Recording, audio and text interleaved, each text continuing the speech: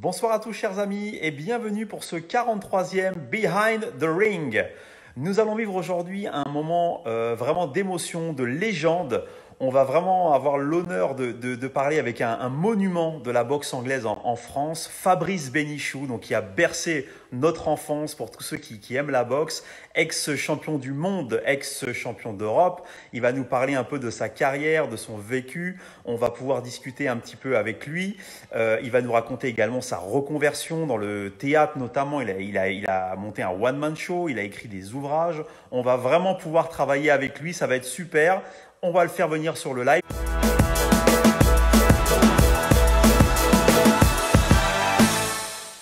Salut Fabrice. Salut Benjamin. Comment ça va? Bah, Écoute, euh, sortie de confinement, tout tranquille, tu vois, la barbe qui a poussé. Euh, Faut que je me refasse belle, quoi. super, super. Et puis c'est vraiment un honneur pour nous, vraiment un énorme kiff de pouvoir parler avec toi. Euh, pour nous qui aimons la boxe, qui étions, qui étions des gamins quand tu étais sur le ring, mais c'est vraiment un moment qu'on va partager avec toi avec, avec grand plaisir. Donc, merci beaucoup d'être là déjà. Merci à toi. Alors, on va démarrer, Fabrice. Donc, c'est pour cadrer un petit peu le, donc notre échange, si tu peux te présenter pour les gens, qu'on puisse un peu mieux te connaître. Fabrice Benichou, bien évidemment.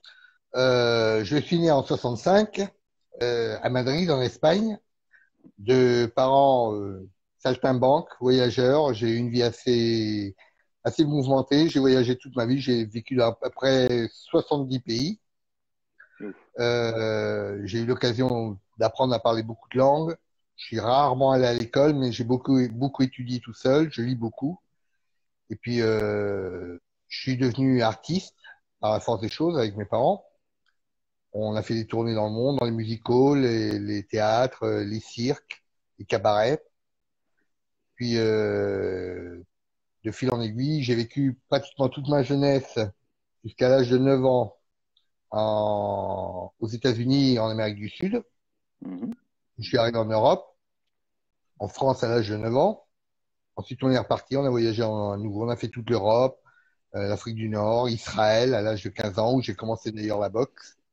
Oui, on va y venir après. Hein on va y venir après. Ah, euh, j'ai vécu, j'ai vécu au Liban à l'âge de 14 ans en pleine guerre. Je me suis amusé avec une Kalachnikov. J'ai fait la guerre déjà tout jeune. J'ai compris ce que c'était. C'est pour ça que je déteste ça. Hmm. Je trouve ça vraiment très très con. Et sinon, euh, quoi d'autre? Oh, J'ai une vie tellement mouvementée. C'est pour ça que j'ai écrit trois livres. Puis j'en ai fait un spectacle. Mais très bien. Et on va détailler donc, donc cette vie de manière euh, chronologique. Euh, raconte-nous alors cette fameuse histoire. Comment as ton premier contact avec la boxe? Comment tu as démarré la boxe? Explique-nous. Mon premier contact avec la boxe, c'est sur un terrain de foot. Oui. C'est dingue. J'ai joué pas mal au foot d'ailleurs. J'étais pas mauvais du tout. J'étais un très bon dribbleur. Seul souci, c'est que j'étais haut comme trois pommes. Je faisais quoi? À 15 ans, je faisais 1m39. 1m41, 39 kilos. Euh, J'étais pas épais du tout. Et quand je jouais, forcément, on me taclait, on m'envoyait par terre. Mais moi, j'étais très bagarreur depuis tout petit. Vu que quand tu vis en Amérique du Sud, tu es obligé de te faire euh, respecter bah ouais. par la force des choses. Et puis, une baston est arrivée en plein match. Je jouais à Elat. C'était l'équipe sud-américaine dont je faisais partie, les Juifs sud-américains contre les, les locaux. Et baston général. ça part en live. Et il y a trois mecs qui viennent sur moi. ces trois mecs qui arrivent sur moi, je vois le premier qui arrive, je balance une droite. Le mec euh, se fout par terre. Au lieu de me barrer en courant et prendre la trouille, non, non, je me suis mis en position. Allez, venez, mec, je vous attends. Et ils sont venus, j'allonge le premier, le deuxième arrive, je l'allonge, le troisième arrive. Bon, le troisième avait un peu les pétoches quand même. Putain, il en a deux, pose mes pieds, il me prend une pose de karaté à la con. C'était ses dernières paroles, le pauvre type. Je l'ai allumé, il est tombé, KO, tout fier, tout content. Mais ce que je savais pas, c'est que dans le public, il y avait un certain Kimson. Kimson, exactement. Euh, président des Gants d'Israël, euh, entraîneur du Joe Frazier. Oui. Si, c'est un des entraîneurs du Joe Frazier, un grand monsieur. Et il se trouve que ce qu'elle est venu me voir, il demande à parler à mes parents. Je dis, je vais me faire encore engueuler, moi. De m'être battu. Bon, je dis, ouais, mes parents, ils tiennent un cabaret à Elat, au bord de la plage. Vous pouvez aller les voir quand vous voulez. Voilà. J'ai oublié le truc. Arrive le soir. Moi, je fais le spectacle dans le cabaret de mes parents. Je finis mon spectacle. Je sors des loges. Je vois mon père arriver avec ce mec.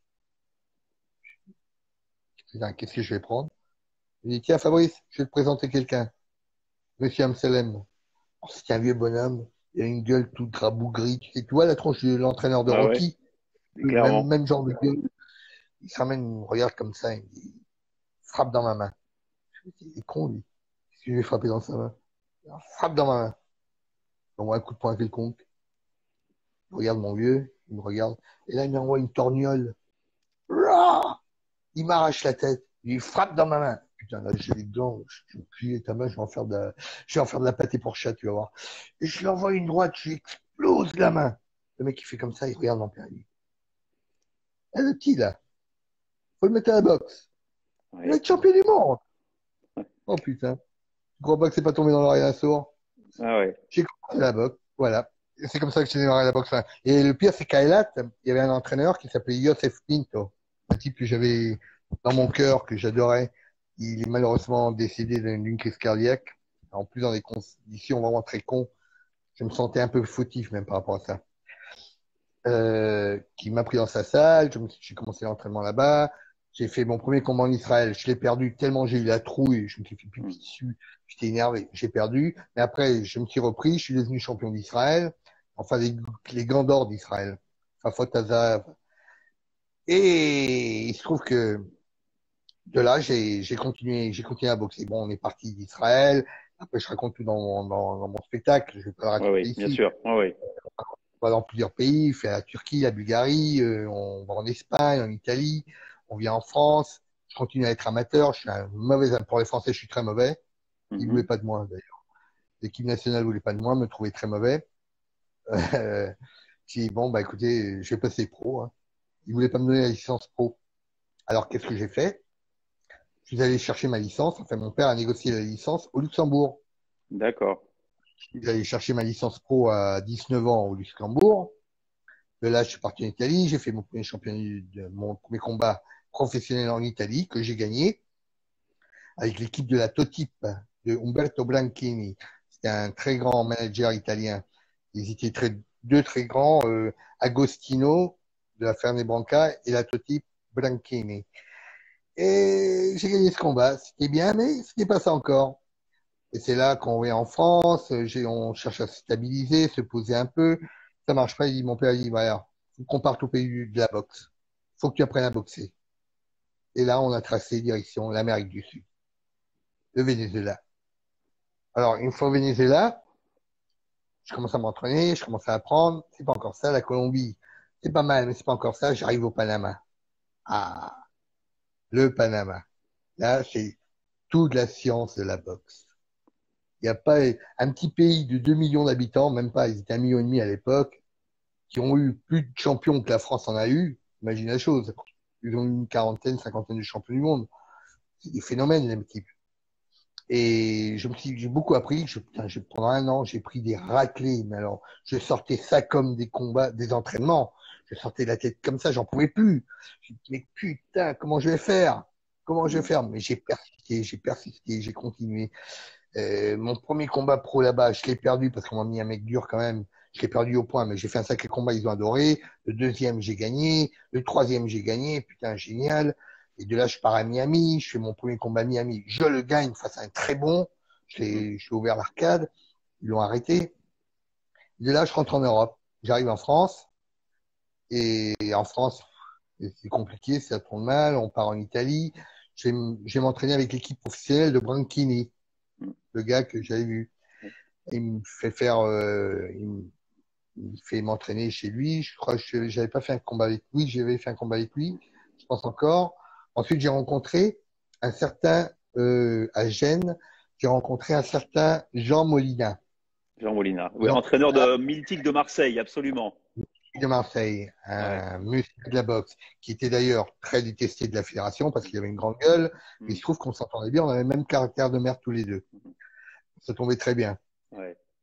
De là, on, on sympathise et je m'installe à Marseille avec toute la famille, femme, les chiens, euh, ma femme. Euh, attends, j'ai sauté un truc en plus. Oui, j'ai sauté un truc, c'est que quand j'étais pro, ma, femme était enceinte la première fois. Elle était à Brest, à, Nantes. Moi, j'étais à Rimini. Je m'entraînais là-bas. Je suis parti de Rimini à Nantes en voiture avec une GS pourrie pour aller à l'accouchement, des allers-retours, l'horreur, l'horreur. Et c'est de là que je suis parti ensuite chercher ma licence pro, de nouveau au Luxembourg. Et il se trouve que elle m'a rejoint à Rimini. On avait un bébé, mon premier, Yoni, Hanan, mon grand. Et mon premier bébé, un an après arrive le deuxième. C'est, on, on était à Paris, à Neuilly né le deuxième. Et puis on redescend à Marseille et on s'installe là-bas quelques temps avec les deux grands.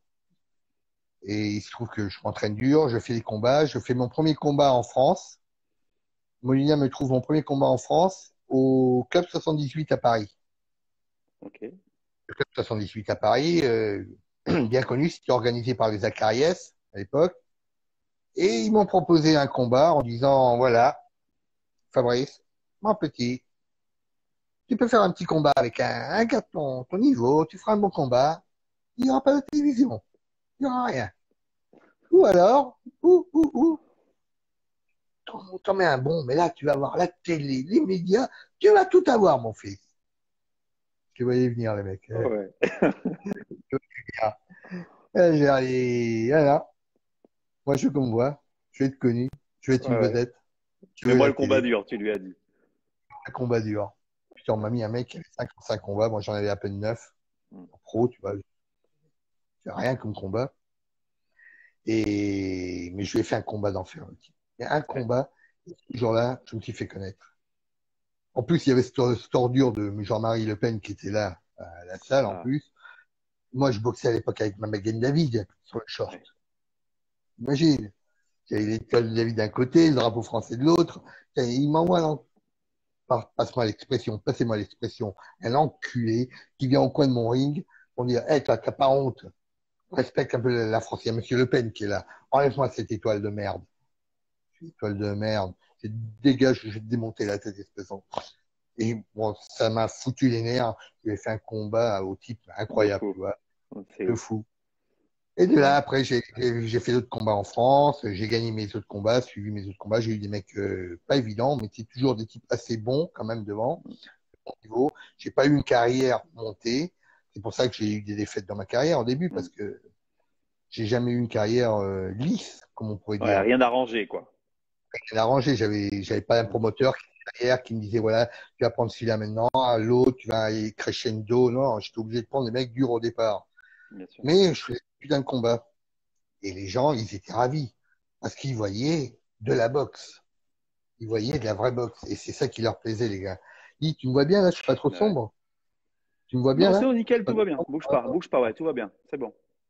Et bon, de là, euh, j'ai, fait des combats suivis en, France. Je suis allé, comment ça se fait? Je suis allé boxer même euh, un peu dans le sud, un peu partout en France. Et à un moment, j'en ai marre. Je voulais passer pro. Tu vois. Euh, enfin, j'étais pro, je suis con. Euh, ça, c'était avant. Je raconte mon histoire euh, un peu avant. Euh, j'étais pro, j'ai fait mes combats pro en France. Et il arrive à un moment que, il y a en 87, 88, tiens, le, t'as le signal, tu me vois toujours là? Oui, c'est bon, c'est bon. Hmm. Ah, parce que moi, je te vois plus, ça, c'est pour ça. Là, c'est bon, nickel. Ah ouais, c'est OK. vois. hein. Ouais. Et en 88, on, comme je suis allé chercher mes licences au Luxembourg, je m'entendais très bien avec le secrétaire général de la fédération luxembourgeoise. Il m'a classé numéro 2 européen. Hmm. La France voulait pas de moi, hein. il voulait même pas me Ouais. faire boxer en France. Alors, ils se marrent, les mecs, parce que le numéro 1 européen, c'était Thierry Jacob. Oui, Jacob, oui, non, énorme boxeur. Grand, il a d'ailleurs il a d'ailleurs été champion du monde, lui aussi. Hein. Mm. Putain de Oh la vache. Qu'est-ce que j'en ai chié avec lui. Et, et un combat Calais. Bon, 4-5 000 personnes, c'était blindé. Et le pire, c'est qu'il y avait des chants nazis dans la salle. Je te jure. On chantait des chants antisémites. le- oh, c'était dur. Ça m'a foutu encore plus les nerfs. Pendant neuf rounds, je rentre dedans, je rentre dedans, je me bagarre, je me bagarre, je bloque, je rentre. Lui, il n'en pouvait plus. Après le neuvième round, il comprenait pas qu'il arrivait à rien faire. Je chope et je le couche. Putain. J'ai pas couché Thierry Jacob, j'ai couché Calais entier. Tout Calais était mort, tu vois. Et même le frangin qui a voulu rentrer dans le ring pour me tuer. Un truc énorme. Et, et puis ensuite, merde. Et, et puis ensuite, euh, je deviens champion d'Europe. Forcément, ça monte à la tête. J'ai battu Thierry Jacob, ça y est, je me la pétais. Je me sentais plus pissé. J'ai bon, tu vas faire ta première défense, on te paye bien en Italie, à Gênes. Face à un Italien. Bon, c'est un type, euh, c'est son dernier combat. Il... C'est un, un bon petit boxeur, il a été champion d'Italie, mais ça cassait pas trop patin canard. Il, a, il avait quoi, deux, trois KO dans sa carrière. Il, il, il collait des timbres avec ses points, tu vois. Il, Ouais. Et il se trouve que ce connard, il m'a couché. Ah, je me suis le matin, je m'engueule avec ma bonne femme. Euh, ça tourne pas, je m'engueule avec mon père. J'étais mal dans ma tronche. J'ai fait un combat de merde. Et au troisième round, je me prends une droite ici, de dos. Ça m'a quand même paru bizarre que je tombe si facilement. Je veux pas, je veux pas juger. D'accord, il m'a chopé. ouais. Là, coup dur. La grande gueule Bénichou, parce qu'on peut pas me blairer. Moi, je l'ai ramené ici en France. C'est le français quand même assez discret, euh, humble. Il pète pas, genre, moi, je suis plus beau, le plus fort. Ils aiment pas ça, à l'américaine. Bien sûr. ramène, Ouais. je suis plus fort, je vais le descendre. À la troisième round, je le couche. Ils aiment pas ça, les Français. C'était de la provoque, c'était du spectacle. La preuve, ça marchait. C'est comme ça que je Ça a marché, bien sûr. Absolument. Alors, par contre, ils m'attendaient au virage, les mecs, maintenant que j'avais perdu avec le Rital. Ils m'attendaient à Marseille. M'ont ouais. cassé. Je les ai tous niqués. Je suis parti directement au Luxembourg. J'ai pris l'avion, je suis parti au- à Las Vegas. Et à Las Vegas, je suis resté encore pendant un an là-bas.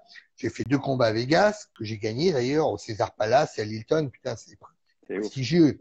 Là, je me sens- Ouais.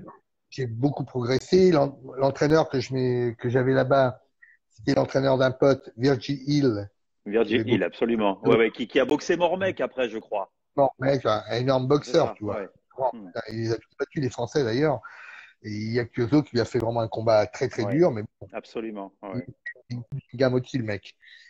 Et il se trouve que son entraîneur, Freddie Roach, très grand Roach. entraîneur, Absolument. Ouais, ouais. il, il m'a pris comme euh, dans, dans son team. C'est énorme. Freddy Alors- Roach, c'est- c'est vraiment aussi une référence pour ceux qui nous écoutent de l'entraînement. C'était l'entraîneur de Manny Pacquiao, notamment. Manny Pacquiao, Mayweather, euh, Ouais. c'est grand champion, tu vois, Bien énorme. Et j'ai resserré ma boxe. Je suis devenu meilleur, j'ai progressé, et je suis devenu plus fort. Et là, je sais pas comment mon père s'est démerdé.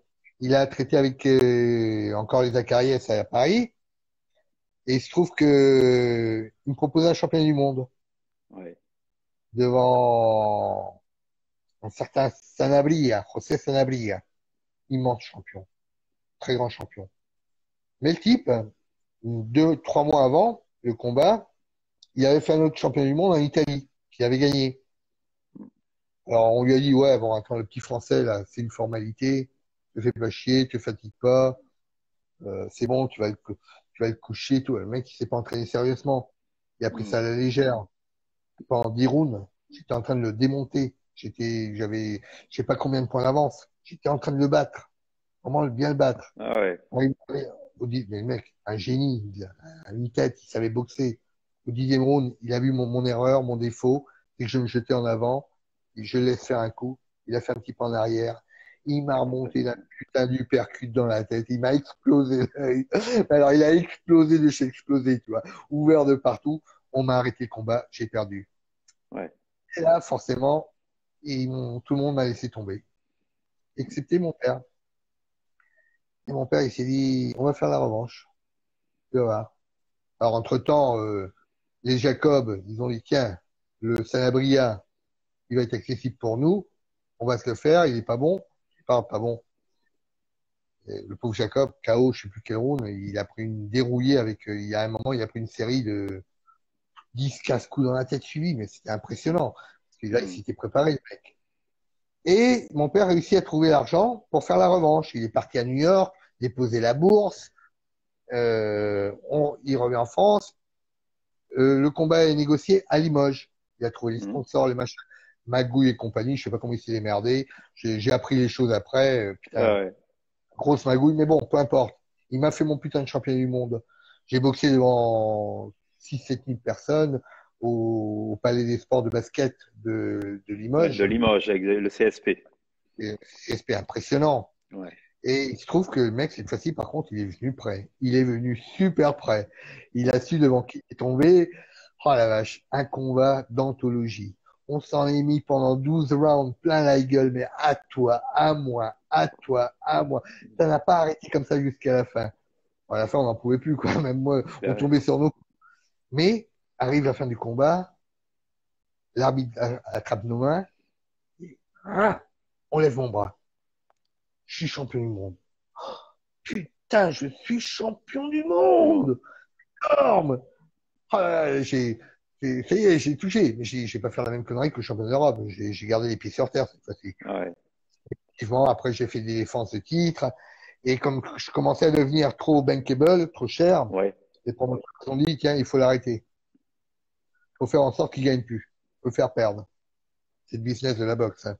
Dès que tu deviens trop cher. Et en Israël, effectivement, euh, il y a eu quelque chose de très louche qui est arrivé. Bon, primo, euh, euh, la veille de mon combat, je devais changer d'hôtel. Alors, je change d'hôtel, je vais dans la chambre de ma femme, je frappe à la porte. Qui ouvre la porte? Mon meilleur pote, à poil. Un journaliste de, de la Dépêche du Midi, gros con, grand con. D'ailleurs, je l'ai couché une fois, je suis bien content. Et je le vois à poil. Bon, moi, je me dis, on dit peace and love, tu vois, euh, artiste, j'étais, euh, je voyais pas de mal, tu vois. Je, je fais la bise, je rentre dans la chambre, ma femme était à poil, allongée sur le lit aussi, tu vois. Je percute pas, je suis dans mon truc, moi, je suis dans, dans mon machin, je- comme un con, je percute pas. Bon, ben, bisous, mon chéri, bon courage, entraîne-toi bien. Problème, bisous, les gars, on, on se voit au combat, je change d'hôtel. Quand je me barre, il y a quand même une petite voix dans ma tête qui commence à me dire, mais C'est t'es bizarre. Ouais. mais t'es con, quoi, mon fils. Mais t'es con, Fabrice. Tu vois, tu, tu vois un mec à poil dans la chambre avec ta femme dans le bureau et tu bouges pas. Mais t'es grave con. Effectivement, le sens du combat, j'y étais pas. Ouais. Chaque fois que je point du ring, que je suis allé passer la gonzesse avec le panneau, pour moi, c'était un coucou suisse qui passait devant moi, tu vois, qui Mm. disait cocu, cocu, cocu. Ouais. Quelle horreur. Alors bon, j'ai fait un match de merde. J'avais pas envie de gagner. J'ai perdu au point. C'était limite, quoi. J'avais pas plus perdu que ça, mais bon. Bon, il aurait pu me le laisser, me- le titre, mais il fallait que je le perde. Et voilà, et perdu. Là, on part d'Israël, on rentre en France, je vais en Corse, je m'entraîne à nouveau. Je fais des combats à Monaco, des combats un peu partout. Jusqu'en 92, un an plus tard, euh, mon père a dégoté le championnat d'Europe à Brest. Mhm. Et je deviens champion d'Europe. C'est lui qui l'organise avec quelqu'un d'autre là-bas. Et je deviens champion d'Europe à Brest et poids plumes. Contre qui? Contre John Davinson. John Davinson, un mec génial. Ah, c'est un amour, ce type-là. C'est un super pote. On s'entend super bien. Euh, c'est un, c'est petit bulldog anglais, tu vois. Ouais. Une machine à avancer. Là, t'avais beau taper dessus, le type, il tombait pas. Tu sais, le British Fight Spirit. euh, Ah ouais. j'avance, Mm. j'avance, j'avance, tu- oh, c'est- mais il était adorable. Il me faisait marrer parce que il avait un appareil dentaire, tu vois, il s'enlevait les trucs, Ah. il avait des coups, il- oh, je me suis marré avec lui. Mais c'était un amour, le mec. On s'en est mis plein la gueule pendant 12 rounds. Et j'ai gagné. J'ai gagné mon championnat d'Europe. Là, j'ai bien battu. Après, je défends mes titres. Euh, je redéfends mon titre euh, con- contre lui à Amnéville. Je le bats à nouveau, parce que cette fois-ci, il avait quand même pris. Il a voulu boxer différemment. Ça n'a pas marché pour lui. Là, il en a pris plus plein la gueule. Et puis arrive euh, encore le système de la boxe qui fallait me faire perdre. Mm. Commence à devenir trop important à nouveau. Euh, comment me faire perdre? Ils m'ont mis euh, Mauricio Stecca, euh, la star italienne de l'époque, champion olympique, tout ça, à boxer. Et bon, le mec n'a pas gagné plus que ça. En plus, encore une fois, euh, deux jours avant le combat, en pleine crise, tentative de suicide, je voulais mourir. On est fragile, un, boxeur, mm. c'est fragile comme un bébé. On est psychologiquement tellement fragile. Moi, personnellement, je marchais beaucoup à l'émotion. Dès qu'il y avait une couille, je partais live. Et ma femme, à l'époque, ça se passait pas très bien non plus, euh, avec aussi les problèmes qu'il y avait eu avant, du fait qu'elle m'ait trompé avec mon pote. Ils continuaient à se voir, ils étaient encore ensemble. Moi, je voyais rien. Et je tombe par rond et je fais un match de merde et je perds mon titre européen. Alors qu'entre temps, j'avais fait d'autres championnats du monde. Je suis toujours passé à côté, pas, loin, mais à côté. Jusqu'à arriver, ouais, 93, j'ai perdu mon titre européen. En 93, euh, j'ai perdu mon titre européen, mais par contre, j'ai rencontré quelqu'un de génial, quelqu'un de formidable. Euh, Laurence, Laurence Pessaguet, la mère de mon troisième enfant, ou mon quatrième enfant, pardon. Melchior, c'est l'amour de ma vie. Ah, mon petit Melchior. On s'entend encore très bien. C'est quelqu'un de génial. C'est une femme formidable. Vraiment une femme formidable. On est resté presque 20 ans ensemble. Elle m'a suivi en boxe avec moi. On s'est entraîné. J'ai arrêté. J'ai recommencé. Et à un moment, je reviens au championnat d'Europe en 98.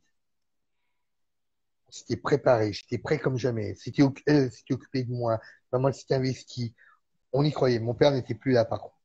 Là, il n'y avait plus mon mmh, père. Bien sûr. Il n'y avait plus mon père. Mon père, c'était pareil. Même s'il était casse-couille, mais il n'était pas là. Et encore une fois, j'ai pété un câble. Entre l'éloge, enfin les vestiaires et le ring, un déclic dans ma tête. Qu'est-ce que je fous là Genre de choses, tu vois, juste avant le combat. Ouais. J'arrive sur le ring, je regarde mon entraîneur, je dis, tomber, je vais pas gagner, j'ai pas envie. Dit, c'est fini. Et l'entraîneur, le pauvre Molina, me dit, bah, je crois bien que c'est fini, tu vas le tuer. C'est bien sûr que ça va le tuer. Non, Jeannot, c'est fini. Oh, putain, pas cher. Oh la merde, la bonne mère, fais le Marseillais. Il en, il en pouvait plus, le pauvre. Il allait mourir.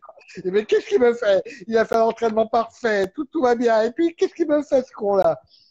Et puis, je commence à boxer contre le mec. Il n'y avait rien d'exceptionnel. Et à un moment, je lui mets la tête devant, je voulais qu'il me descende. Je voulais qu'il me la mette pour qu'il me couche. Il n'arrivait pas à me toucher, ce con-là. Mais tu vas me la toucher Vas-y, je lui mets la tête. Alors, à un moment, il me frôle. Merde, il me frôle. Et j'en profite pour mettre un genou à terre. Là, l'arbitre, il vient. Il me connaissait. C'était un arbitre italien. Il était génial, ce mec. Il me regarde, il me dit, à toi, t'as plus envie. T'as pas envie, ouais. Hmm. Effectivement, j'ai plus envie. J'avais plus envie. Et de là, ça commençait à être un peu la descente aux enfers. Bon, ça allait parce que j'avais un peu d'argent, j'avais un peu de fric, j'avais un peu d'argent. Alors, euh, avec, euh, avec le fric, qu'est-ce que j'ai fait? Je suis, on a bien vécu pendant un moment avec Laurence, on s'est fait des voyages, on s'est fait plaisir et tout. Mais à un moment, l'argent il part. Il a fallu rebosser. Alors j'ai voulu me trouver un petit boulot tranquille, pépère. Et le conseil, j'avais encore un nom, alors autant profiter du nom de Bénichou le Conseil général des Hauts-de-Seine. Je peux avoir un petit boulot de fonctionnaire à la con. Je ne suis pas méchant avec les fonctionnaires. Quand j'ai fonctionnaire à la con, c'est parce que c'est dur. C'est dans ce sens-là que je dis. Moi, mentalement, pour moi, c'était terrible. J'imagine le champion du monde me retrouver fonctionnaire, c'était oh, comment faire? J'ai hmm. je peux pas dire ça. Je suis un artiste. Je suis pas, je suis pas un fonctionnaire. Ce qui ne veut pas dire que c'est pas péjoratif du tout ce que je suis en train de dire. Et je travaille au conseil général pendant un an, un, an ou deux, un an, je sais plus combien. Ça marche pas. Je me fais chier à mort. Allez, métro, mettre le ticket, euh, métro boulot de dos, c'était pas mon truc. Ça te convient pas. Ça me convenait pas. C'est là que grosse des, des grosse dépression et 80 93 84 euh, non 2003 oui 2003 2003-2004, tentative de suicide. Grosse tentative. Euh, J'étais pratiquement mort. J'étais sauvé par l'opération Saint-Esprit. De là, été sauvé. Je me retrouve en clinique. Je me refais une santé. Je sors de la clinique. Je dis à Laurence, bon, je vais reboxer. Je pars en Amérique du Sud et je vais redevenir champion. Je pars en Amérique du Sud, je rejoins mes parents au Venezuela, Je Là-bas, je, je combats pas, il n'y a pas grand-chose à faire. Euh, au contraire, je pars un peu même en couille.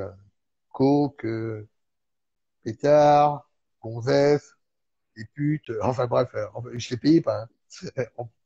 ouais, euh, la vie de patachon, euh, l'horreur. de là, on part en Colombie. Je m'entraîne, mais c'est pas encore ça non plus. Pourtant, c'est bon la Colombie aussi. Mm. Mais c'est toujours coke, gonzesse. De là, on part au Panama à nouveau. Et au Panama, je me remets sérieusement à m'entraîner.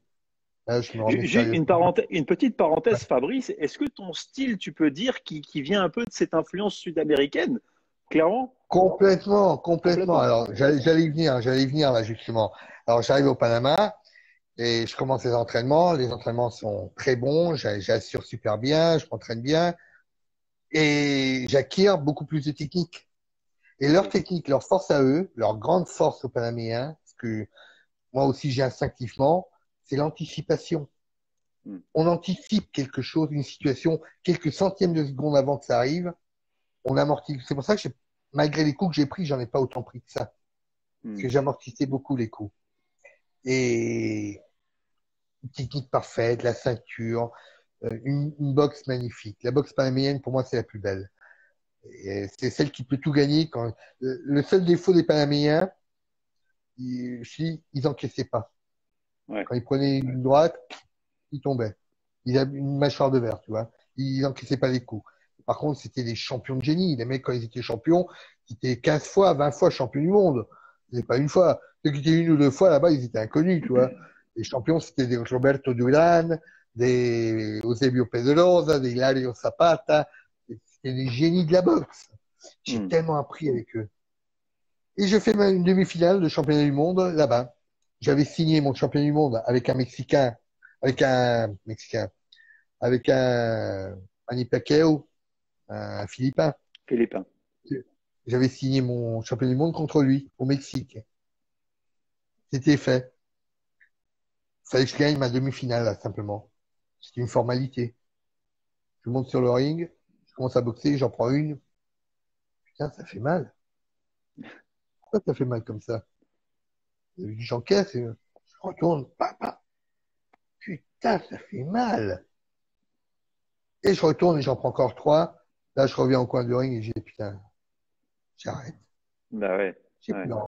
Là, quand la tête est plus là en boxe, euh, c'est fini, j'arrête. Sinon, je vais me faire tuer, j'arrête. Et c'est là que j'ai raccroché les C'est la fin. Le souci, quand t'as plus rien et que tu rentres une main devant, une main derrière en France, qu'est-ce que tu vas faire? Hmm. Voilà, ça s'est dégradé un peu. Ça a tenu quelques temps avec euh, ma femme jusqu'en 2010 à peu près. 2010, 2011. Euh, 2013, je suis revenu sur Paris. J'ai fait des petits boulots à gauche, à droite, des boulots de merde. J'étais mal, mal traité par les gens. Il y a une certaine condescendance. Malheureusement, c'est typiquement la société française, ça j'ai remarqué pas public. Le public est génial. Ils me reconnaissaient, ils étaient vraiment adorables. Mais les moyens, ceux qui sont entre les deux, ni les très riches, parce que les très riches étaient très respectueux de ce que j'ai fait, le peuple était très respectueux, mais c'était la classe moyenne. Il y avait une forme de condescendance envers moi. Ouais, t'es boxeur, tu sais rien faire d'autre, t'es trop con. Mm. Euh, alors je fais des boulots manutention, de manutention, d'autres conneries comme ça. Euh, on utilisait mon image. J'ai bossé chez Adidas, j'étais manutentionnaire, mais quand il y avait besoin de mon image pour aller montrer les gants, on appelait Benichou parce qu'il était connu. Mais je l'ai pas reconnu à ma valeur. Et je l'ai vécu très mal. Et là, rebelote, j'ai pété un câble, grosse tentative de suicide. Hmm. J'étais mort. J'étais mort. Et je me retrouve de nouveau en clinique. encore. Il y a, il y a quelque chose là-haut qui voulait pas que je meure. Hein. Parce que vraiment, à chaque fois que je le fais, je le faisais pour le faire. Et ça ratait. Et bon, je me retrouve en clinique. C'est là que je rencontre le professeur William Lovenstein. Mm. Grand, un grand addictologue, un grand monsieur de la médecine. Un type génial. Vraiment un type génial. Et il me soigne. Me donne un traitement. Je sors de là. Je commence à m'en faire une santé. Euh, là, je rencontre du copines, une copine à gauche, à droite, je, vais dormir chez l'un, chez l'autre, j'ai pas de chez moi. Et un, un, jour, je commence à, bon, je commence à donner des cours de boxe en privé, en me disant, voilà, je vais donner des cours de boxe. Ça va, ça va me faire vivre avec mon nom. C'est vrai que ça marchait pas trop mal. Et dans une salle, un jour, il y a un directeur de théâtre qui me voit donner des cours. Il vient vers moi et il veut que je lui donne un cours. Je donne un cours. Il voit le niveau, il est incroyable. Et je, putain, jamais j'avais connu ça. Il était ravi, mais ça le faisait bander. Et il me dit, il me dit une idée. Pourquoi on fait pas un spectacle de ta vie? Déjà que j'avais sorti les bouquins et tout. J'ai lu ton livre. On va faire un spectacle de ta vie.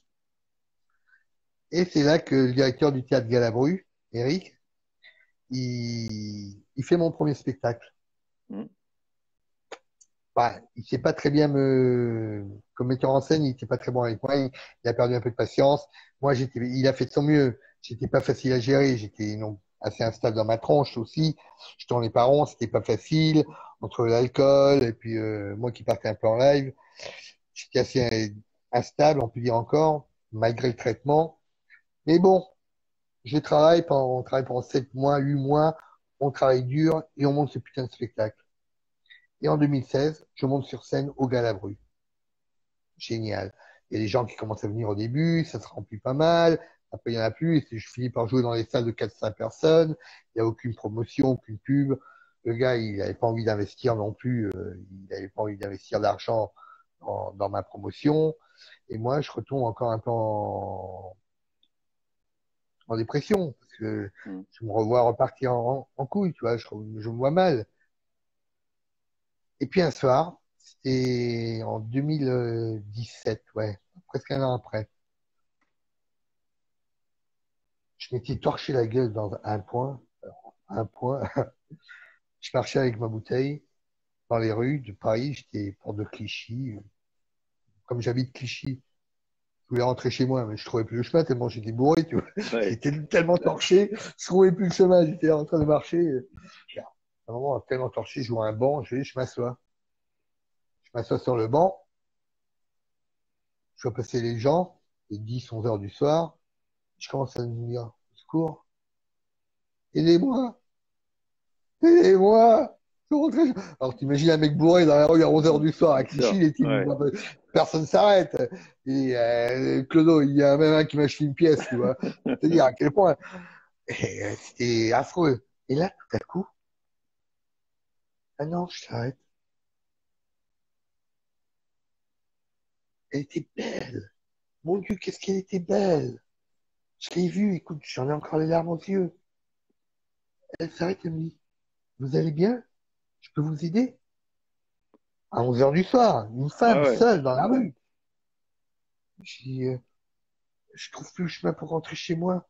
Je me suis torché la gueule ce soir, j'avais mal. Je veux rentrer chez moi. Elle me ramène chez moi, tu vois pas? J'étais à un kilomètre, tu vois, à pied. Elle me ramène jusqu'à chez moi, ici, où je suis. Elle me monte, elle me couche, elle me borde, puis elle disparaît. Oh putain. Je te raconte pas. Quand je me réveille, j'y arrivé ou quoi? C'est quoi le truc? J'y arrivé. C'est pas possible. Et, et euh, non, suis pas arrivé. Et bien, je ne savais pas son nom, je ne savais rien, nanana. Les jours passent, les semaines passent. Moi, je continue à faire mon spectacle au Galabru.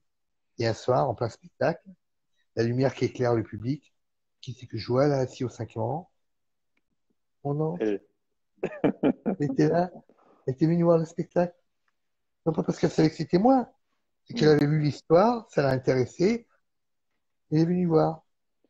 Et le pire, c'est que, ah oui, j'ai sauté un paragraphe. C'est qu'avant, dans les rues, quand j'allais mal, bien mal, je m'étais arrêté dans la rue à un moment, et je m'étais mis à prier.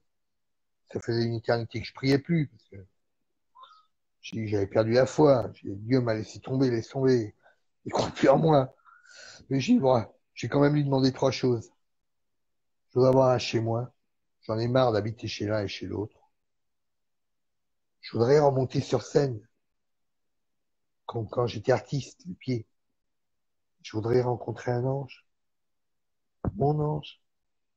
Je voudrais que ce soit une comédienne, une professeure de théâtre. une nana qui m'apprenne le métier, qui m'apprenne à jouer. Putain, les trois sont sortis. J'ai mon pote Thiozo, pas Christophe, euh, Christophe c'est un pote aussi, Ouais. et Franck, mon frère, Ah, Franck, Franck, Franck, Franck. ouais. Franck Thiozo. Il me trouve un appartement, celui-là. Tombe sur le mec du théâtre Galabru qui monte mon premier spectacle. Et puis le soir, quand je bourré dans la rue, je tombe sur cet ange qui vient, qui me sauve la vie. Et je la retrouve là, sur, en scène, en spectacle. On est allé, on a discuté, on s'est plus quitté. Quand elle m'a dit, euh, je suis professeur de théâtre, je suis comédienne. Oh putain. Là, j'ai pensé à ma prière, tu vois. C'est pas Ouais. vrai. Et c'est- c'est- ça, ça n'existe pas. Exactement ce que j'ai demandé. Je l'ai eu. C'est magique. C'est génial. Et bon, bah, et depuis, bon, on s'est pas quitté. On, on est devenus très proches en trois ans. Là, on s'est séparés, mais on continue à travailler ensemble. On s'entend très bien. C'est, un amour. C'est, une femme exceptionnelle, d'une intelligence. En plus, c'est ce que je voulais. Une femme super intelligente. Elle est cultivée. Elle te parle de Victor Hugo, de Mo- Molière, de, de les plus grands. Elle, elle te fait rêver quand elle te parle de théâtre, de, tu es là, tu l'écoutes, tu avales ses mots, c'est magique, c'est de la magie. Et elle a, elle, elle elle a eu du mal à percer parce que les gens étaient durs avec elle. Comme c'était une femme seule, ils voulaient profiter d'elle. C'était une, une très belle femme, magnifique, énormément de classe, mais les mecs voulaient profiter d'elle. Et malheureusement, ils reconnaissent, comme elle voulait pas se plier à leur bon vouloir, ça pouvait pas être l'artiste que c'était. Sinon, ça aurait été une Catherine Deneuve. Je te promets, c'est c'est c'est une, c'est une merveille. Si tu vas, si tu vas sur Facebook et tu tapes Fabienne Barbier, euh, tu vas voir la femme que c'est, elle est incroyable. Hmm. Et on, on s'entend super bien. La preuve, là, euh, dans, dans quelques jours, on, on va partir se faire une balade. On, on s'est déjà fait le, le chemin de Compostelle ensemble. On a fait 300 bornes à pied. Là, on va se refaire une randonnée dans le GR34. On va repartir 200-300 km à pied, à marcher. On est psy- euh, psychologiquement, euh, intellectuellement et philosophiquement, on est très proches. Hmm. Et ça, c'est une force inouïe. À deux, on est très fort. Et je sais qu'avec euh, la manière dont elle montre son spectacle et que je joue, on va être très loin. Et grâce à elle, j'ai rencontré Monsieur Bertin. Ouais. Monsieur Bertin du théâtre du gymnase, le directeur du théâtre du gymnase, qui a eu un coup de cœur et qui connaît très bien Fabienne, puisque Fabienne a joué au gymnase. Ouais. Et comme il y a une bonne relation entre eux, en plus ça a bien passé avec moi, on commence à jouer au mois d'octobre au théâtre du gymnase, euh, dans la salle de 160 places. Le gars, il nous ouvre, il nous ouvre sa salle. Il croit en nous et il dit, je crois en ton spectacle. On s'appelle régulièrement. C'est un monsieur d'une gentillesse. Tu sais, à l'ancienne. Vraiment, les, Ouais. les mecs de, de- c'est un type qui a 76 ans, qui a presque 80 balais. Ils pensent à l'ancienne. C'est l'ancienne génération. Il y avait encore de l'émotion, de la sensation. C'était pas bénéfice, bénéfice. Oui, j'ai fait, j'ai joué au, à l'Apollo, par exemple. J'ai rempli. On- sans aucune pub, ce pub internet, euh, Facebook, machin. On a fait un super spectacle, on a rempli. Après, ils nous proposaient euh, des, des cacahuètes. Attends, ouais. quand même Fabrice Bibichou qui est là, on fait un super spectacle. Je vais pas être payé des cacahuètes, faut pas déconner non plus. Je vais pas non plus que je te, faut pas déconner. Alors bon, on a, je, je me suis pas, rabaissé. Je voulais pas monter à tout prix sur scène pour être euh, sur scène. Je veux monter à ma juste valeur, à ce que je suis. Et là, cette juste valeur, je suis en train de la trouver. J'ai fait le festival d'Avignon. Avec Fabienne, on a joué au festival d'Avignon. On a bien marché, le théâtre beau du festival d'Avignon. Il y a eu du monde. Ça a bien tourné. On a fait une petite tournée en France. On a rempli à chaque fois. Puis là, on arrive à Paris. On va jouer au gymnase. Le théâtre du gymnase. Putain, je me la péter grave. C'est énorme. Je, me sens comme un champion du monde, là. Je vais être sur scène. J'ai revivre. Et on redémarre. Et puis, on a plein de projets. Je sais que elle, Fabienne, elle doit normalement jouer dans un film avec euh, Jeremy Irons et d'autres, Depardieu, d'autres personnes comme ça, dans un film prochain qui va se tourner. Moi, j'ai une autre proposition de film, d'une série télé qui doit arriver prochainement également. On va en discuter la semaine prochaine. Tu vois, tout revient avec la foi. quand t'as la foi, tu déplaces toutes les montagnes, mec. Il n'y a rien de plus fort que ça.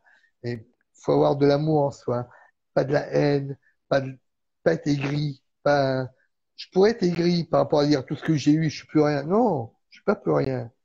Putain, ce que j'ai fait, c'est unique. J'ai marqué mon nom, tout le monde connaît le nom de Bénichou. Je rêvais de ça. Quand j'ai commencé la boxe, j'ai dit putain, dans ma vie, je voudrais plus tard qu'on dise, il y avait, quand j'ai, quand je commençais à boxer en France, il y aura eu euh, Carpentier, il y aura eu Cerdan, il y aura eu. Boutier, il y aura Bénichou. Bon, il y a eu Kyozo. c'est- en c'est clairement, hein, ça, ça, ça fait voilà. partie des gens qui ont marqué le patrimoine de la boxe, c'est clair. Absolument. C'est ce que je voulais. Je l'ai fait. Ouais. Bah, maintenant, je sais que j'ai les moyens de continuer à réaliser ma vie. Je vais pas arrêter maintenant. Bon, j'ai 55 balais, je me sens en pleine forme. Je suis un super coach en plus. Je sais qu'on me demande comme coach. Je suis assez exigeant. Je donne des cours, mais très limités, tu vois, à certaines personnes. Euh, quand il faut qu'il y ait un feeling, tu vois, que j'ai envie de le faire. Euh, mais mon idée, c'est la scène, la scène. J'ai envie de remonter sur scène, jouer au cinéma, au cinéma comme je suis en train de faire. J'ai toujours été artiste. Je peux pas bosser comme monsieur, madame, tout le monde. Je sais pas le faire. Puis je suis Mm. jamais allé à l'école. Bon, d'accord, je parle peut-être 7, 8 langues. J'essaie d'écrire écrire dans toutes ces langues. D'accord.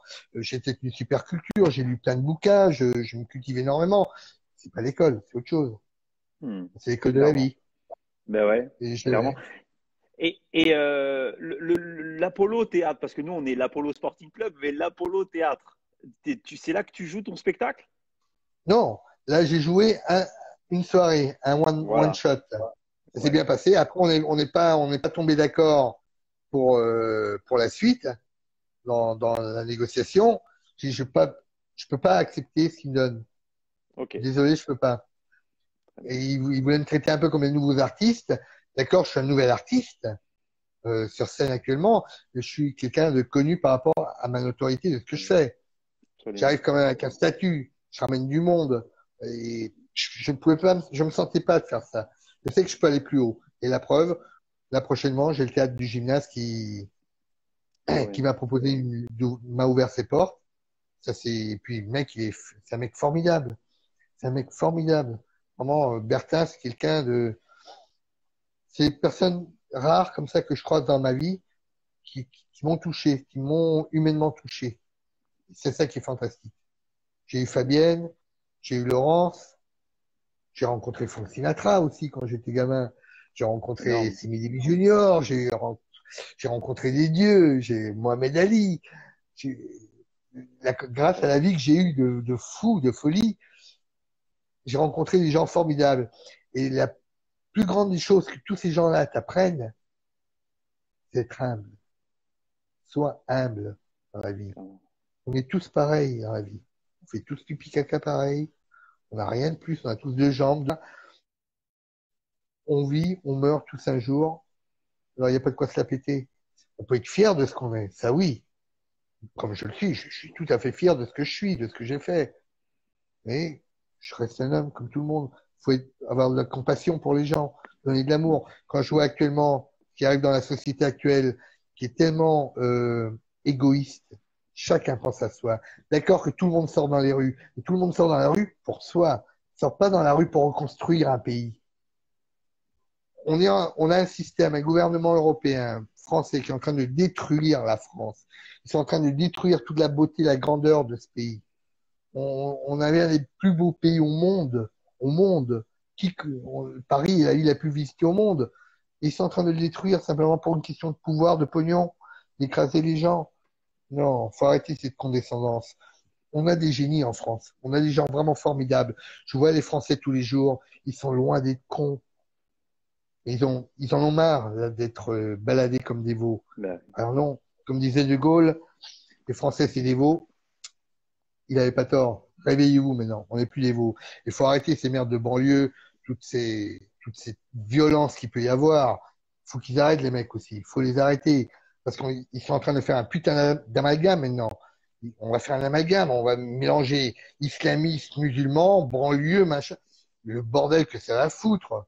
Alors c'est, ça n'a rien à voir. Moi j'ai des amis musulmans, j'ai des amis chrétiens, j'ai des amis juifs, mais ils sont tous sensés. Ils sont constructifs.